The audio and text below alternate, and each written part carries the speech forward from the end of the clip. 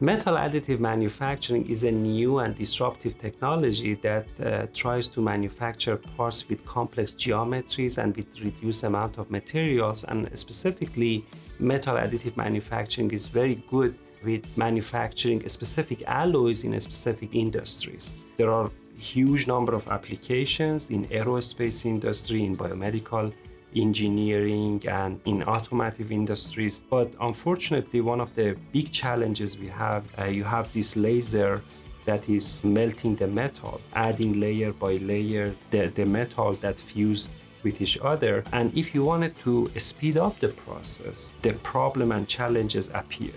So now the question is that we want to scale up to make it viable for industry, but how? And if you want to scale up the uh, metal additive manufacturing, one of the big challenges is the speed of printing. So it's not scalable for a large scale printing and manufacturing. To solve that problem, uh, physics-based simulations like computational fluid dynamics or computational heat transfer can be used. For such kind of complex problem, physics-based simulations and modeling might not be sufficient.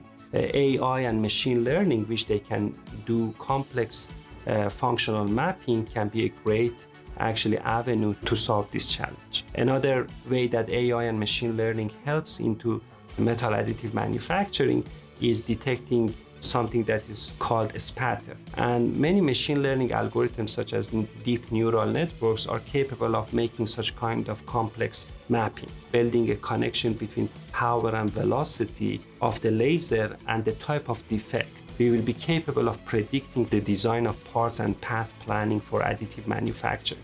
To that end, my students identify the challenges we have in metal additive manufacturing. I believe the longer term scale challenges that we have for metal additive manufacturing and AI is to build some kind of technology that is able to work around the clock in order to print parts. Traditionally CMU has been the place you know for AI and machine learning. Now with a lot of different initiatives that we have we just bump these two together to solve uh, the challenges which is scaling up and scaling out uh, additive manufacturing to make it viable for industries